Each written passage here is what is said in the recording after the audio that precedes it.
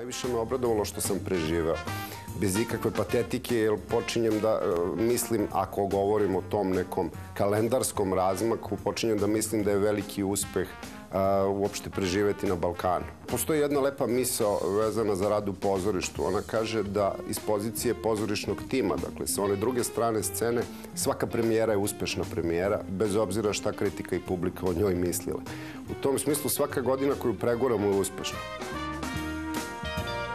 Obradovala me solidarnost ljudi, ali ona je došla na jedan čudan način. Ona se pojavila kad smo se najmanje nadali, naravno svako znao kojim događajima govorim i ona se ugasila čim su događaji prestali.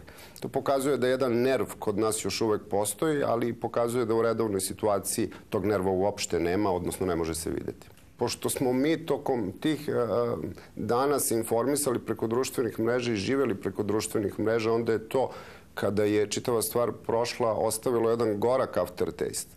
Mi naime imamo virtualnu državu i živimo preko društvenih mreža razočarao me izostanak nekakve realne, utemeljene nade ili nekakve realne, utemeljene vizije u tim malim poslovima, malim profesijama koje pretenduju da budu velike i kojim, kojima se bavimo sve vreme, zato što valjda za drugo i ne znamo. Razočarala me samim tim, da kažem, poplava nekih eh, potpuno neutemeljenih sreća i s druge strane potpuno neverovatnih e, nadanja, e, poplave obećanja kojih e, verovatno skepsa mojih bioloških godina nekako ne može da prihvati. U 2015. imam samo jednu želju. Ona je dosta abstraktna i odnosi se na građane sveta kao i na građane Srbije. U 2015. se nadam da će ljudi bez profesije i ljudi bez obrazovanja prestati da nas maltretiraju.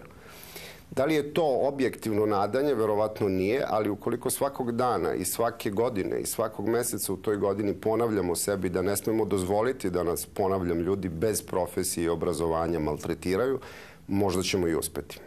Mislim da je najosnovnija dobronamerna poruka svakom poruka koju pre svega i, i sebi ponavljam kao mantru i a, meni bliskima jeste da se veruje isključivo u sobstveni a, sistem vrednosti, da se veruje svom instinktu, da se čovek vrati jednom u pozitivnom smislu primitivnom dobu kada iz želuca iz nekog osnovnog instinkta procenjuje stvari i da se nikako ne veruje apsolutno ničemu što bilo koja vrsta establishmenta želi da vam kaže.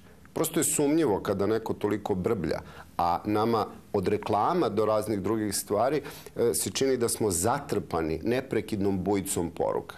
A bujica poruka označava nesigurnost one druge strane. Sada se to da je gori bolji vidi na svakom mestu i sad je jako teško svojoj deci objašnjavati ili davati savet šta je to gori, a šta je bolji. Ono što nam najčešće mediji prezentuju, zavirujući u određeni, čak i privatni segment života naših javnih poslenika je jezivo. To je uh, prosto nevaspitano.